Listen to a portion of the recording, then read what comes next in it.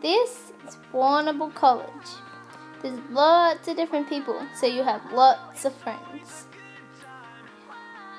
These are the houses Flagstaff, Menai, Childers, Belfast, Hopkins, and Logans. And if you're Aboriginal, you can play in the Calais Academy for girls and the Clontarf Academy for boys. There's lots of different sporting academies as well. There's tennis, netball, basketball, swimming, cricket, football, and lots more. You don't have to worry about too much homework. You don't get as much as you think. And if you want a snack or buy your lunch, go to the canteen. They have delicious food. At the start of the year, you get a map so you'll never get lost. There's lots of different activities, so you meet lots of different people, and you'll never be bored. That's Warrnambool College.